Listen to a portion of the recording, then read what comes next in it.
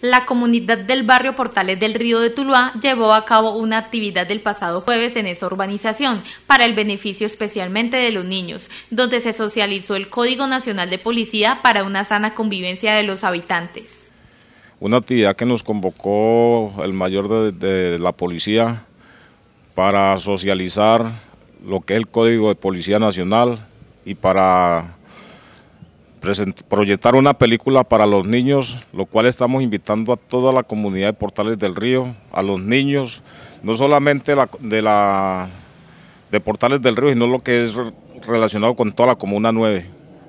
Según el líder comunal, es muy importante que todas las personas tengan claras estas leyes de sana convivencia. De otro lado, invitaron a los tulueños para que se vinculen a la celebración de los cumpleaños de esta urbanización. El objetivo de esto es que la misma policía se encargue de difundirlo y saber nosotros dónde,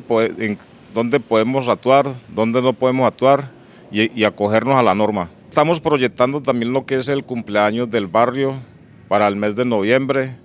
desde ahora empezamos a convocar a toda la comunidad y vecinos, barrios aledaños para que nos acompañen a este evento. La comunidad le hace un llamado a los entes encargados para que les hagan la respectiva señalización al barrio para evitar los accidentes que constantemente se presentan en este sector. El problema de señalización es que, por ejemplo, aquí en la 24A con tercera, el sábado se presentó un accidente de tránsito debido a que no hay señalización y nosotros llamamos el día de ayer mm, y nos, contaron nos contestaron de movilidad que no había presupuesto para,